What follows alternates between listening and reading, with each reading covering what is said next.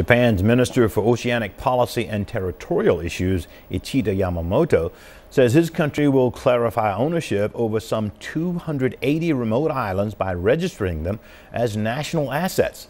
The Japanese government claims the move will enhance its management over the islands. The islands are among more than 400 remote uninhabited islands, many of which have never been named.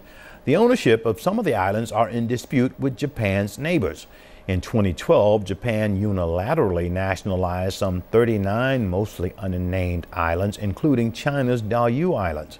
The move sparked mass protests here in China, and the islands continue to be central to a maritime standoff and deteriorating diplomatic ties between the two countries.